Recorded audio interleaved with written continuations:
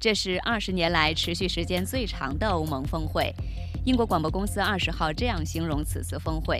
在峰会上，节俭四国荷兰、丹麦、瑞典和奥地利反对无偿拨款，并要求将援助款项与改革承诺挂钩。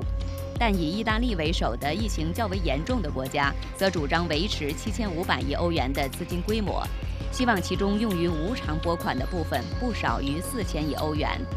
匈牙利和保加利亚等东欧国家则反对将援助与法治挂钩，认为这是趁机塞入不相关议题。英国广播公司报道称，在这里人们情绪爆发，甚至有人出言辱骂，其中大多责骂声是针对荷兰领导人吕特的。保加利亚总理鲍里索夫指责吕特行事风格就像欧洲警察。匈牙利总理欧尔班则说：“这是荷兰人的错，我不知道他为什么不喜欢我们。”不满的还有法国总统马克龙。据报道，十九号早晨，马克龙曾一度用拳头砸桌子，并指责节俭四国，还威胁要退出谈判。由于分歧巨大，欧盟峰会两度延期。经过四天激烈谈判后，当地时间二十一号清晨，欧盟各国就总额一点八二万亿欧元规模的预算和恢复基金达成协议。